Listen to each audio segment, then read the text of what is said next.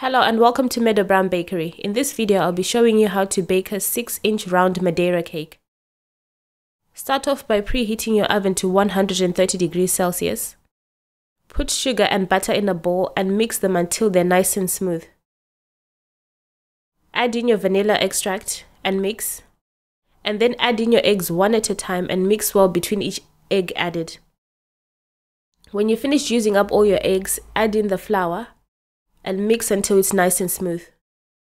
Get your prepared cake tin.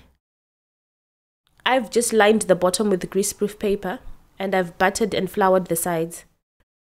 Put the mixture into the prepared cake tin and smooth over with a knife. Bake in the preheated oven for 80 to 90 minutes. Test with a toothpick to see if it's ready. When it's ready, loosen the sides with a spatula to help release the cake easily and then put your cake on a cooling rack to cool completely. When it's cooled down, I'm going to cut the cake in half just to see what it looks like inside. As you can see, it's nice and cooked through. Thanks for watching and see you again soon. For recipe amounts, visit my website www.meadowbrownbakery.com.